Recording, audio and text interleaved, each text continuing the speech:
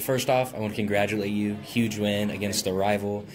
Um, you guys came in here, pretty much dominated all four quarters. What was your like planning coming into this game? Uh, I mean, it didn't necessarily feel like we dominated. Um, I mean, they kept coming back at us. I think we did have a lead the whole time, but uh, credit to them, like they, they kept playing hard and didn't quit.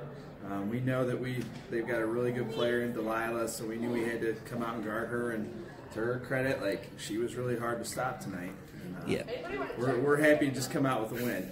Yeah, there was times when um, they would start coming back offensively and really making things struggle, but then you guys always, you know, put your foot down and really took the lead again. Yeah, uh, we had answers on the offensive end tonight. Uh, we, were, we were pretty tough with the girls on we need to play better defense. I mean, that's kind of been our calling card all year is we can get stops, we can get out and run like we do best. And uh, tonight, I think we did a good enough job, but we'd like to see better. And obviously, with getting stops, you have Naomi, six foot three, only a sophomore.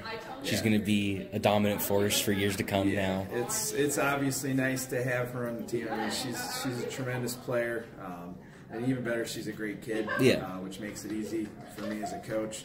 Uh, but we've got a lot of threats. I think tonight we had at least three or four girls getting double figures, Yeah. and um, we were able to luckily get things going on the offensive end and score some points tonight. And then moving forward, like what's your guys' like mindset? Just Uh, to be honest with you, we got the tournament draw coming up. Yeah. Um, you know, we, we were hoping we could get a couple wins going into the draw and hopefully get a good seed. Yeah. So at this point right now, like obviously we're trying to win every game, but we want to make sure we're improving every game and, and getting ready for the tournament.